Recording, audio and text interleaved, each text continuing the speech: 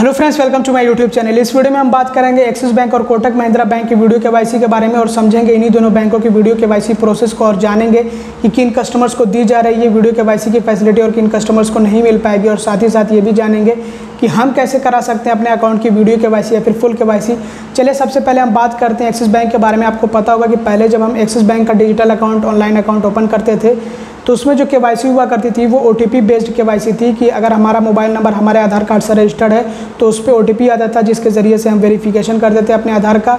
उसके बाद हमारा अकाउंट ओपन होता था। तो इसमें क्या होता था कि मतलब इसको कहते थे ई के बेस्ड अकाउंट इसमें बहुत सारी रिस्ट्रिक्शन बहुत सारी लिमिटेशन होती थी, आपको पता ही है। और साथ ही साथ एक साल की वैलिडिटी हुआ करती थी कि आपको एक साल के अंदर अंदर ब्रांच विज़िट करके अपने अकाउंट की फुल के करा लेनी है, नहीं तो आपका अकाउंट बंद हो सकता है, बल्कि बंद कर दिया जाता था। तो अभी क्या है कि अभी देखिए बैंक में बिल्कुल भी भीड़ नहीं लगाना है। मतलब बैंक भी नहीं चाह रहे हैं कि बैंकों में भीड़ हो और बैंक अपना जो है, जो काम है उसको कम करने के लिए, अपने स्टाफ को जो है सहूलत देने के लिए एक तरह से ये कह सकते हैं आप। कि नई नई टेक्नोलॉजी लेकर आया, जिसके ज़रिए से हमें भी फ़ायदा हो रहा है और बैंक को भी फ़ायदा हो रहा है कि अब आपको बैंकिंग के जो काम है, वो घर बैठे ही आप कर सकते हैं। ये सहूलत आपको मिल रही है और बहुत सारे काम अब लगभग जो है घर बैठे हो रहे हैं। आपको ब्रांच जो है बहुत कम ही रेयर केस में आपको विज़िट करने की ज़रूरत पड़ती है।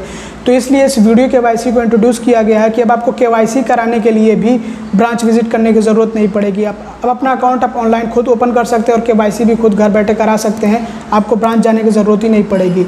लेकिन यहाँ पे आपको मैं बताना चाहूँगा कि कुछ बैंकों ने तो बहुत अच्छी तरह से इस वीडियो के वाई को इंट्रोड्यूस किया है मतलब कि बहुत अच्छी तरह से इसको इम्प्लीमेंट किया और वहीं पर कुछ बैंक ऐसे हैं कि जो सिर्फ़ न्यू कस्टमर्स को दे रहे हैं कि जो अभी ऑनलाइन अकाउंट ओपन करेंगे, उनको तो ये वीडियो के की फैसिलिटी मिलेगी, वो ऑनलाइन जो है वीडियो कॉलिंग के ज़रिए से के करा सकते हैं। बाकी जो पुराने कस्टमर अकाउंट ओपन कर चुके लेकिन उनके अकाउंट की के नहीं हुई, उनको के कराने के लिए ब्रांच जाना पड़ेगा। तो ये जो है, समझ लीजिए कि इसी कैटेगरी में एक्सिस बैंक भी आता है।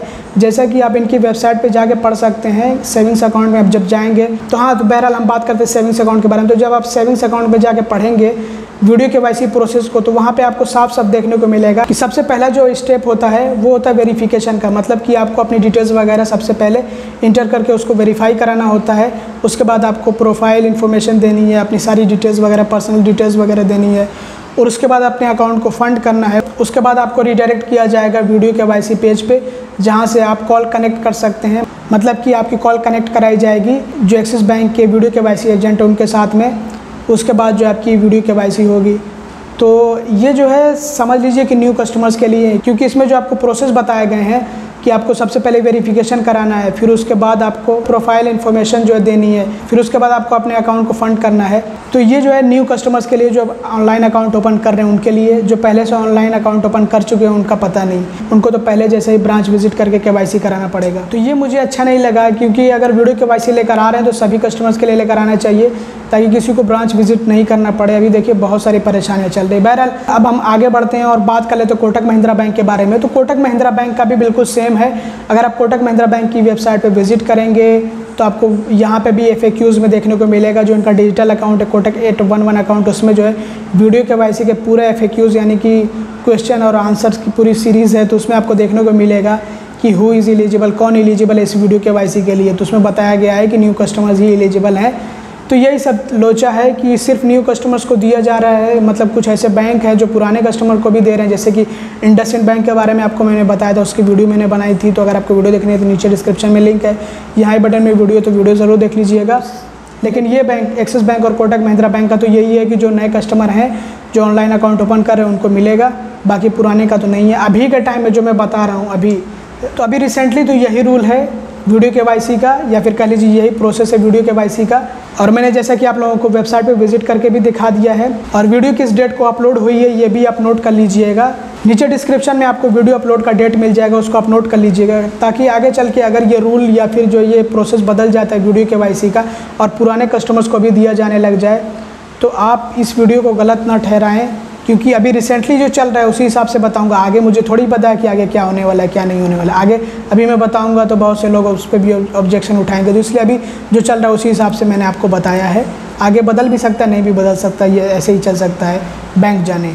हाँ तो दोस्तों अब बात कर लेते हैं कि हम अपने अकाउंट के जो वीडियो के वैसे या फिर फुल के वैसे कैसे करा सकते हैं। तो आपको मैंने बता दिया है कि न्यू कस्टमर्स के लिए है। तो एक्सिस बैंक में अगर आप अपना अकाउंट ओपन करते हैं तो सबसे पहले वही है वेरिफिकेशन मतलब कि बेसिक डिटेल आपको एंटर करनी है mobile number Aadhaar card PAN card ये सारी डिटेल्स आपको एंटर करनी है। उसके बाद प्रोफ़ाइल की इन्फॉर्मेशन आपको नेम वगैरह मतलब यही सारी डिटेल्स होती हैं एड्रेस वगैरह। आपको पता ही है सब कुछ आप जानते हैं कि कैसे जो है ऑनलाइन अकाउंट ओपन हो रहे हैं। तो जो डिटेल्स आपसे मांगी जाती हैं, वो आपको फिल करनी होती है।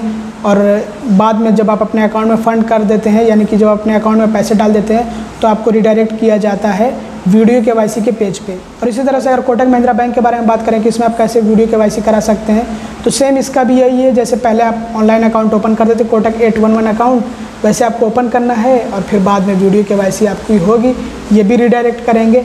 तो अगर आपको जानना है कि कैसे वीडियो के इसमें होती है कोटक महिंद्रा बैंक में तो इन्होंने तो वीडियो लॉन्च कर रखा है। नीचे डिस्क्रिप्शन में आपको उस वीडियो का लिंक मिल जाएगा। रणवीर सिंह समझा रहे हैं कि कैसे जो है वीडियो के होती है तो समझ लीजिए। और बाकी फुल के आपको कैसे करानी है, आपको पता है कि एक्सिस बैंक में अगर आपका अकाउंट है तो आपको ब्रांच विज़िट करना ही पड़ेगा। बायोमेट्रिक के ज़रिए के होती है तो बायोमेट्रिक के ज़रिए आप के कराएँ और सिग्नेचर अपडेट कराएँ। आपको अपना आधार ओरिजिनल आधार और पैन कार्ड भी रखना होगा साथ में, बेहतर रहिए। और बस सिग्नेचर वगैरह अपडेट होता है और बाकी सब कुछ इसमें पहले जैसा ही रहता है जैसे पहले फुल के वाई हुआ करती थी तो ब्रांच से होगी। और अगर आपने कोटक महिंद्रा बैंक में ऑनलाइन पहले अकाउंट ओपन कर रखा है उसकी के नहीं हुई है तो अपॉइंटमेंट बुक कर सकते हैं आप।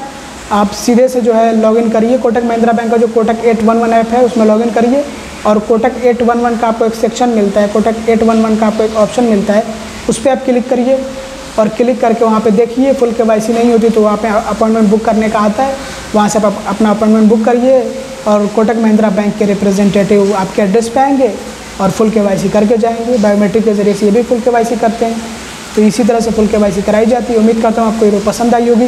वीडियो आपको पसंद आती है तो लाइक कर दीजिएगा चैनल को सब्सक्राइब कर लीजिएगा। आपको इसी तरह की वीडियोज़ मिलती रहेंगी। वीडियो देखने के लिए बहुत बहुत धन्यवाद।